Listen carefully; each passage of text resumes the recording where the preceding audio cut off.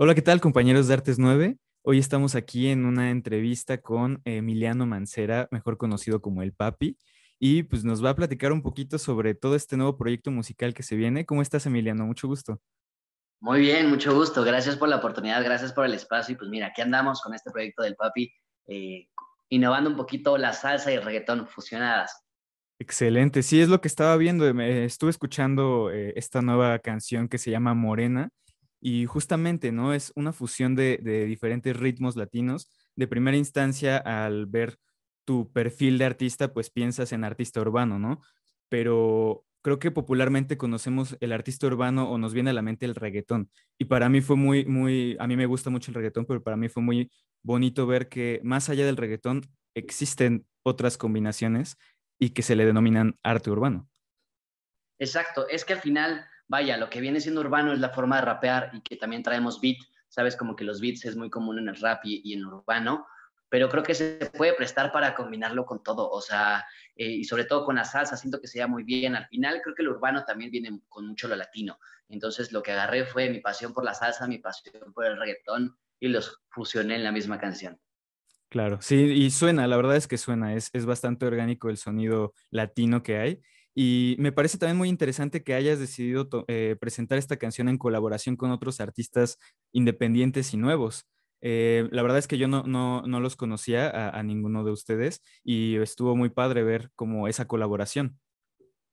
Sí, pues es que mira, creo que ahora hay mucha esencia, sobre todo ahora creo que muchos están intentando estar en el medio urbano. Si te soy sincero, creo que algunos eh, lo hacen por pegar, ¿sabes? Porque es lo que está de momento pero creo que habemos otros que lo hacemos por pasión a lo que en verdad es lo urbano, eh, y representarlo en diferentes maneras, ¿no? No hacer el reggaetón, vaya, tan común, que es muy bonito, a mí me gusta mucho el reggaetón también así firme como, como es y como se escribió, pero me gusta la idea de fusionarlo, creo que ahora lo que viene son las fusiones, ¿sabes? Ya, ya no creo que haya géneros nuevos, creo que ahora llega como la, la era de las fusiones. Claro, sí, y pues ya desde hace un rato, ¿no? Estábamos viendo... Eh eh, artistas que hacían fusión en géneros que no se pensaba, ¿no? En un inicio el rock con la música clásica, ¿no? Y el metal gótico y cosas así, y de repente ya todo se volvió latino, ¿no? Todos, todos quieren tener ese, ese sonido latino y, pues qué mejor para nosotros como, como latinos, ¿no? Sí, creo que justamente creo que ahora lo latino está abriendo muchas puertas, ¿sabes? Hace unos años, pues poco a poco incluso los Grammys, Grammys, o sea, no el Latin Grammy, sino el Grammy Grammy, empezó a tener la oportunidad de que gente latina se a interpretar su, su, forma latina, también se prestó. Entonces ahora siento que se está unificando esta como distancia que nos ha separado musicalmente y entonces ya todos competimos en diferentes géneros, que está padrísimo, que no es una competencia como tal, sino es como una colaboración entre todos, ¿no? Pero ahora nos unimos mucho con lo latino y está abriendo puertas y siento que esto tenía que pasar sí o sí, porque no hay música más movida y que te haga bailar mejor que la música latina. Claro, totalmente de acuerdo. Y justamente eh, escuchando la, nueva canción Morena, eh, me, me, da, me intriga mucho saber qué influencias musicales, o sea, más allá de los géneros, o sea, como qué bandas, qué personajes te influencian a ti para hacer este tipo de música? Pues mira, yo soy fanático y soy salsero de corazón. Me atrevo a decir que en una, época de mi vida, cuando fui rockero, fui guitarrista rockero, mira, aquí están las guitarras, este, fui, fui salsero de closet en un cierto punto, ¿sabes? Así lo puedo confesar. Pero la realidad es que siempre me encantó muchísimo Mark Anthony, eh, Oscar de León, Alain Pérez, que para mí es mi inspiración principal en la salsa. Eh, entre todos los cantantes grandes salseros me fascinan. Eh, y también me gusta muchísimo como el urbano, pero me gusta más, más allá del rap como americano, este, este fusillo, ¿sabes? Me gustaba muchísimo lo que hacía Carlos Vives, por ejemplo, la transformación de Shakira, lo que metió Ricky Martin con las percusiones, me fascinaba. Y aquí te va el dato más curioso de la razón por la que yo rapeo. No es por, por los raperos que todo mundo conoce, ¿sabes? Desde Tupac y etcétera, etcétera, sino la realidad es que a mí me encantó la improvisación gracias a los jarochos, a los veracruzanos. Cuando yo iba a Veracruz y escuchaba a la gente hacer querreques y cómo improvisaban, decía, es que eso es magia, ¿sabes? O sea, me volaba la cabeza que al momento te podían tirar un verso improvisado y luego también de ahí conozco, conocí un poquito la trova colombiana que también es improvisada y hay duelos enormes de, de trova colombiana pues me llamó muchísimo la atención. Ahí viene mi pasión por el rap y por la improvisación. Y ya después obviamente me fui metiendo más y pues pelea de gallos, todo este rollo de freestyle me encantó, pero me encanta la idea de la gente que hace rimas escritas, me parece una, una cosa maravillosa y pues de ahí viene como toda esa influencia rara en cierta forma, pero pues me apasionó de esa manera y es el resultado de lo que soy ahora. Claro, sí, tiene todo el sentido del mundo. O sea, justo como mencionas, ya es una fusión de todos lados, ¿no? No solo latino, no solo eh, música de Estados Unidos, o sea, ya es una fusión de lo latino, del funk, del rock, de, la salsa, el mambo. Es una maravilla. Y lo que también estaba viendo y, y, me lo imaginé desde que escuché la canción es que tú no eres nuevo en este asunto de la música, o sea, se escucha la producción en la canción, se escucha la calidad del sonido y pues quería preguntarte de eso, ¿qué, qué, ¿en qué momento decidiste o por qué decidiste lanzarte como solista y de dónde viene toda tu experiencia para que suene como suena tu canción? Mira, primero agradezco que lo hayas escuchado. O sea, en verdad es un placer que te digan eso como productor. Eso es una cosa brutal, ¿sabes? Pero mira, yo empecé la música relativamente pequeño. Tampoco me considero de los más pequeños empezando porque empecé a tocar a los 14 años. Eh, pero me apasionó tanto que me dediqué al 100 a eso. O sea, desde el primer instrumento que toqué, el mundo desapareció. O sea, la escuela desapareció. No estoy aconsejando que no estudien, pero, por ejemplo, yo no estudiaba, ¿sabes? Yo en vez de estudiar eh, la escuela normal, me clavaba a estudiar horas música y de ahí, pues, probando con bandas, experimentando en diferentes géneros. He cantado reggae, he cantado rap, rock, eh, baladas, pop, he cantado de todo. Y también me volví productor hace unos años. Entonces, justo con esto construyo mi estudio, empiezo a hacer música y me doy cuenta que podía hacer música para lo que yo quisiera, siempre y cuando estuviera listo de acuerdo a los géneros. Y pues, como empecé tocando mucha salsa también en mis estudios como universitarios, por así decirlo, musicales, eh, ahí es donde empieza como toda esta idea de fusión. Y ahora en la cuarentena por fin tuve tiempo, ¿sabes? Cuando te dedicas a la música, no tienes tiempo de nada. O sea, es sorprendente que cuando agarras trabajos es una cosa tras otra, ve para este foro, ve para allá grabar, ve para acá tocar, compón, arregla y produce. Y afortunadamente, pues me va muy bien en, esta área laboral, pero la, la, pandemia me relajó un poquito el trabajo, crisis económica en, cierta, en ciertas cosas, pero me dio la oportunidad de voltearme a ver y decir, si estoy produciendo para tantos artistas y yo quiero hacer algo, ¿por qué no es el momento de hacerlo? Y me arranqué. La verdad es que no la pensé dos veces y pues empezó a resultar la historia del papi. Ok, sí, sí, sí, suena, suena muy interesante, suena muy ajetreado todo este ritmo de vida de, pues, el nuevo músico, ¿no? O sea, que ya no solamente se dedica a tocar, se dedica a producir, se dedica a administrarse, se dedica a promocionarse y pues justo como mencionas, ¿no? Lo, eh, la pandemia llegó a darnos muchas cosas complicadas, pero entre ellas nos, a algunos nos dio el privilegio del tiempo. Y pues qué bueno que lo hayas podido aprovechar. Sí, justo, creo que es, es lo que más agradezco a la pandemia, que ya lo traía como en cabeza, pero así en, en un día de pandemia dije, hace mucho no produzco como tal, y dije, pues voy a producir algo para mí, entonces a eso me senté. Súper. Y justamente te quería preguntar eso, ¿qué, cómo te trató a ti, además de esto que mencionas del tiempo eh, que te brindó para la música, cómo te ha tratado esta situación de la pandemia?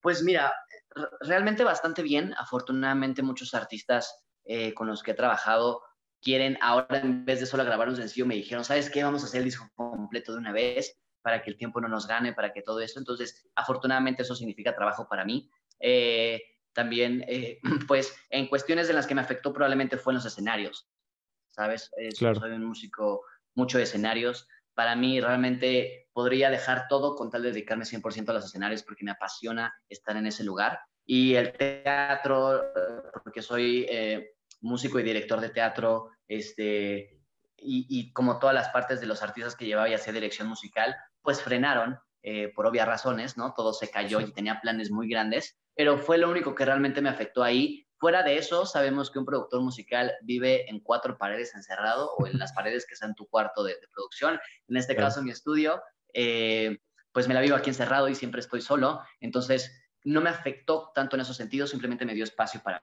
mí. Ok, no, pues qué padre, qué bueno que, que eres de los afortunados que, que pudo aprovecharlo, ¿no? Aprovechar toda esta, todo este cambio. Y te quería preguntar si tienes pensado algo para, justo para las presentaciones. Se ve que esto todavía para, va para largo. Si tienes como pensado algún streaming o algo digital. Mira, justamente con esto de los streamings, yo siento que la industria en general estamos en pañales porque nos agarró en un lugar donde no esperábamos, ¿sabes? Y siendo sincero, lo que trato de no hacer es eh, tomar propuestas de streamings en las que no pueda dar la calidad que la gente se merece, por dos razones. Una, porque soy un artista nuevo relativamente, ¿sabes? O sea, a pesar de que llevo mucho tiempo en la música como solista, soy un bebé, tal cual, en cuanto a que la gente no me conoce. Entonces, no me quiero arriesgar a que la gente vea un streaming mío sin la calidad necesaria, sin los recursos necesarios, cosa que siento que no se lo merecen, ¿sabes? Porque la primera entrada es como la carta de presentación, entonces quiero esperarme un poquito con eso. Lo que ahora me dedico a mucho es hacer en vivos en plataformas, en las redes sociales. Entonces, en las redes sociales hago todo un seteo, busco que sea una calidad de sonido y me pongo a improvisar para la gente y cantarles en forma real, sin formato concierto, pero para que vean que lo que yo hago es totalmente real, ¿sabes? Tiro freestyle, eh, me pongo a componer canciones ahí mismo para que vean que así sucede. Y eso me ayuda a comunicarme con la gente, eso es lo que ahora hago para convivir con ellos y prefiero esperarme el momento adecuado para hacer un streaming bien hecho o que las puertas se abran de los escenarios ya con público y poder exponerme tal cual y brindar lo que en verdad la gente se merece. Claro. No, y la verdad es que qué bueno que lo veas de esa forma porque pues al final el consumidor es, o bueno, la audiencia es como lo primordial, ¿no? Para, para cualquier artista y, y, muchos artistas se les olvida eso y pues ofrecen productos no de una gran calidad, ¿no? Y que, que artistas nuevos como tú, su enfoque sea que, que, el consumidor, que la audiencia tenga lo mejor posible, se agradece mucho. Hombre, sí, es que creo que es lo más importante, ¿sabes? Al final, siempre que te vas a quedar con algo es por su calidad y, quiero ser un artista de los que prevalecen, no, no quiero ser como un artista que llegó, apareció y luego pues ya quién sabe qué sea de su vida, ¿no? Entonces eso hay que hacerlo más despacio, tarda más tiempo, pero tengo la paciencia suficiente para hacerlo suceder. Perfecto. No, pues qué, qué gran noticia. Y ahora entonces, con, con, este sencillo, ¿qué es lo que sigue para el papi? ¿Podemos esperar más canciones, un disco? ¿Qué, es lo que viene? Sí, mira, cada cierto tiempo, estamos pensando cada mes, mes y medio, voy a estar estrenando una nueva canción. Eh, todos estos sencillos que vayan a salir durante todo este año, eh, el compilado se llama Renacer, que al final va a ser el, el, disco y probablemente en el disco metamos un par de sorpresas, canciones extras que no salieron como sencillos, algunos feats, algunos remixes de las canciones que salieron y más gustaron. Eh, y esa es, la idea, ¿sabes? Como estar sacando canción tras canción todo el tiempo, pero con buena calidad, con su espacio suficiente y que la gente vaya conociendo toda mi propuesta, porque me atrevo a decir que lo que acaban de escuchar en Morena, creo que apenas es el inicio, traigo afrobeat, traigo algo, cosas que sí suenan un poquito más a reggaetón, pero también traigo cosas RB con rap eh, en español, ¿sabes? Cosa que a lo mejor de repente no se escucha, en algunas partes les voy a dar lowdown. Las canciones que vienen están muy interesantes y lo que busco es eso, hacer una esencia totalmente mía, tan libre en la música, pero muy auténtica porque soy la misma persona en todas las canciones, con la misma esencia, pero diferentes canciones. Wow, pues entonces aquí estaremos esperándolo con ansias en Artes 9 y toda nuestra audiencia. Y pues para que nos puedas platicar después cómo, cómo te fue con la grabación y la producción y la difusión de todas esas canciones.